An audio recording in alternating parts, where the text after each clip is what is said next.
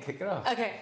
Hey guys, welcome back to another episode of A Couple Things. When we touch on a couple of things, today we are going to be talking about porn and your relationship with porn and porn in a relationship. Ooh. And how we feel about porn now versus then. Yes. Because I think your opinion has changed. I think it was like our first episode, right? Yeah, it was. It was actually our second episode. Second episode of a couple of things. Ever. Two years ago, Yeah. about 20 pounds ago. And yeah, we talked about porn and in, in our relationship and how we felt about it. I know I mostly said, like, it is what it is. That's just what guys do. That's what we do. It has nothing against the women that we're with. It's not like we're lusting over other women. But Which you are. But it's like it's not it's not that serious. Mm-hmm. That's just porn. That's just something on the screen. You know what I'm saying?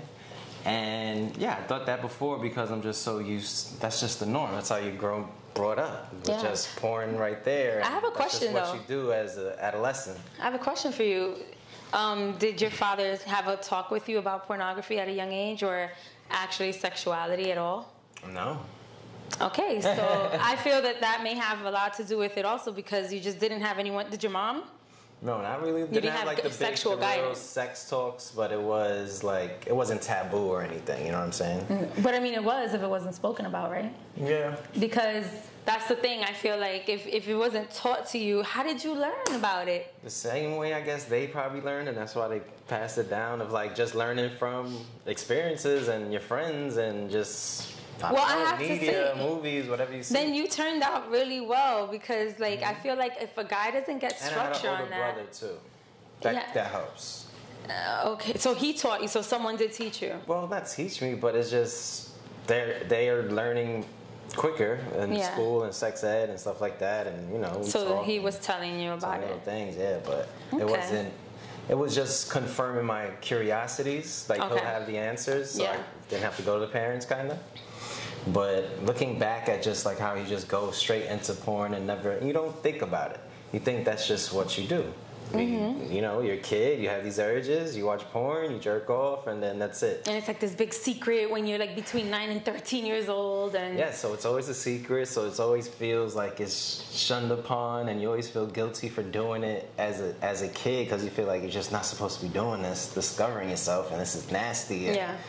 And then Do you just- feel like you've carried- goes away. I was gonna ask you that. Do you feel like that guilt has carried on into your adulthood? Yeah, it never goes away. Every guy will tell you this. Every man or even woman, like after Mm-hmm. you masturbate and you nut, you just feel disgusted. Yeah. And you're just like, why did I do that? Or Mm-hmm. why did I think that? Or all this stuff. But it's like, but why? I think it's, I don't know where it comes from, but I think it's probably just something that's been so hidden that people have learned to, learned that it is something that is done, but it's something that you keep secretive and that you don't have to spill on. Mm-hmm. So it's like the idea that you're hiding something that people know exists among And it's- masses. And it's weird because that just goes into hiding anything sexual too, Yeah. whether it's molestation or just different urges, maybe for the same sex, and it all comes with just shame for some reason That's so because true. it's probably not just talked about and just open within maybe your family or society. I don't know. How, now that you feel the way you do about porn, mm-hmm. how do you view sex today?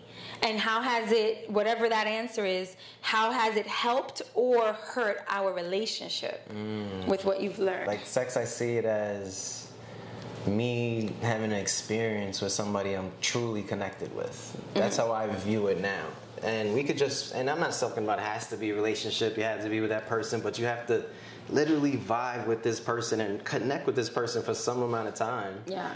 to exchange energies because I see more as energies. And if you're sucking something out of me, which is pretty much semen, Jesus and it's Christ. going, but for real, though, for real, if you really think about it, so you're sucking this energy out of me, like you have to be deserving of it because we're we're mixing energies, and I can't have you just bring me down because you know you're always attached to somebody after you have sex with them. Yes. And a lot of people don't think they are. They they think that's like a fictitious thing. It's not as ego driven for me anymore. Okay, beautiful answer. because before it's more like I gotta be the best fuck, I gotta be the best and and do it the hardest. Yeah, and the best, and I always wonder when guys say that, better than who? I kind of want to get into further what I was saying. Um, And with the with the just the physical aspect of it, yeah, it's not an ego thing. So I'm not trying to outdo myself or outdo this.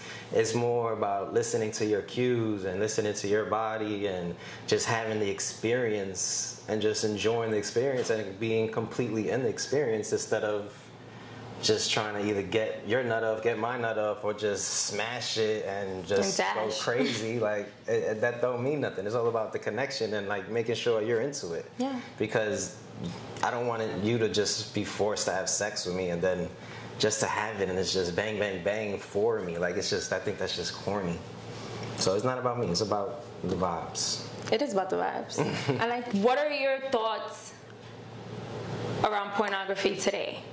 Today, I honestly I stay away. I felt that the more I'm like connecting spiritually, like I don't like that vibration in me. I don't like that guilt feeling. I don't like hiding it from you mm-hmm. or like it's just like I He just, doesn't have to hide it from me, by the way. He, he doesn't. But it, I just just always gonna feel like you gotta hide it, mm-hmm. and yeah, I just don't like that feeling anymore. I rather anytime I'm get off, I wanted to be with you, honestly. Okay. Because and I f- feel like just on a spirituality level, like I just feel like it's like you're looking at a screen.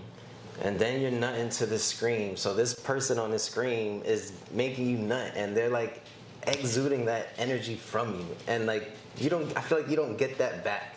And that's why hmm. you feel that guilty, like, because it's just this strange, nasty thing on my phone. Probably a scene that. And it's, always- and it's not even nasty. Let's not say that. no, a no, lot- no, but but but you feel nasty. Yeah, yeah. You're probably on a fucking toilet watching it in the fucking dark and shit. Like, he just gave himself away. no, don't do that. but you know what I mean? Like you're hiding it, honey. What about the other part of it? Like for me personally, I think of I wasn't aware that when you watch pornography, I thought yes, it's real, as in it's people actually having Yeah, sex. actors and but I always thought that it was like in a studio or people that Mm-hmm. signed off on it being there, and that's how we had it available to us. But literally 2020 i just learned and i think you did too fully Mm-hmm. that a lot of the videos that are circulating the internet that are on the certain websites that everyone loves to go to and use for free those are videos of real individuals a lot of times that are actually being held against their will and being sex trafficked and a lot of them are real rapes and like i was doing research Yeah. maybe a while ago just looking Was into it porn got in trouble for that or something? What is it? Pornhub. Pornhub. There. Pornhub is one of the biggest ones, mm-hmm. and they actually, this girl has been fighting. I think it's been eight years or six years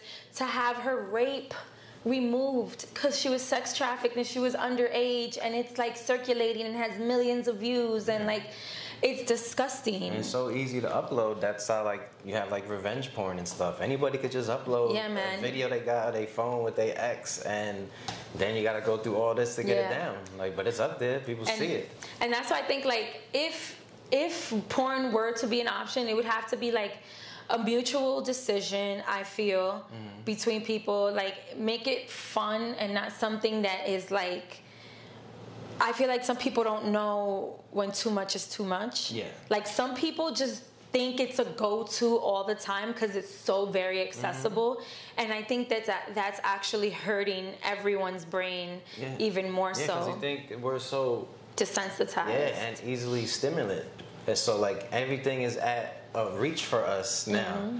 So if I'm horny, I can just look at porn and boom, I'm good. If I'm hungry, I press a button, food comes to me. Yeah. So it's so everything is so accessible, but you got to understand like just stop those urges. So my thing now is I'm just trying to think. I'm not trying to um, sexualize you as much. Yeah. I'm trying not to think of sex that much because a guy just it's just so second nature that just sex goes through your head like all day every day so i'm just trying to get away from those thoughts and like why do we think of sex every day? What is it? And and it's not an issue. not even every day but just like too much and like why? Yeah. so i'm just trying to get to the why of everything. So like every time i have the urges and everything i just stay away and see. And then i just focus on something else and then you forget about it. Like you didn't have to do that. Yeah. if you don't it, it just had just why?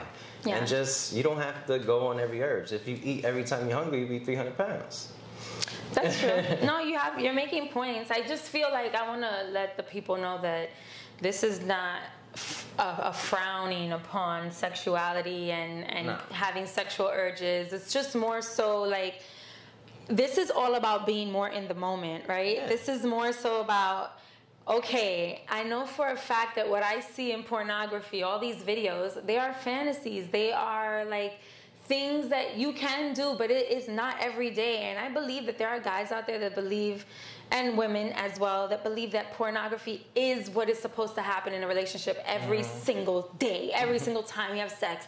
It has to be to a certain magnitude, or that means like Or it's nothing. Yeah. Oh, that's another. That's a whole other thing. Like I feel like so many conversations that we've been having revolving pornography, my issue with it, and stuff like that. It has never been an, a jealousy thing, or it, it has literally revolved around it just the focus that was being put on all these other women. And I feel like the biggest line is like, oh, it's not real. Like, mm-hmm. This isn't what I like. But think about it. Do you search what you don't like?